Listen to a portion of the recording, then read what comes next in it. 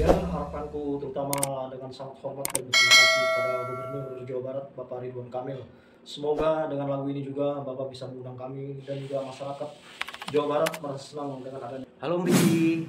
Halo juga Bang Ferry.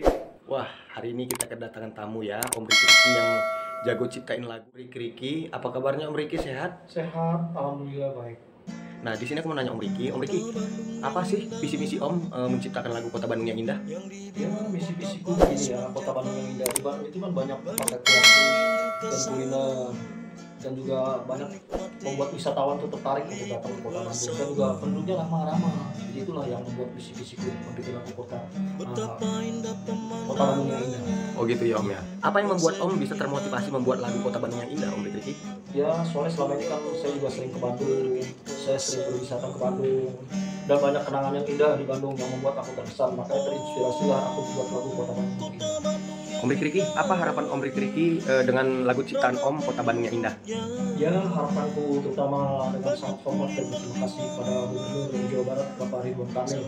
Semoga dengan lagu ini juga Bapak bisa mengundang kami dan juga masyarakat Jawa Barat merasa senang dengan adanya lagu Kota Bandung ini karena ini mengangkat martabat dan martabat Kota Bandung penduduknya ramah dan juga pemandangan indah banyak kuliner dan itulah visi, visi dan visiku itu membuat lagu Kota Bandung. Baik Om Riki Riki, terima kasih Om udah eh, hadir di channel YouTube Ferry Opa ya. Sukses selalu buat Om Riki Riki ya. Wah luar biasa Om bisa ciptain banyak lagu ya. Itu karya Om sendiri. Ya, saya juga berterima kasih sama Ferry Opa yang sudah mendukung saya yang selama ini di mana yang ke satu orangnya juga baik.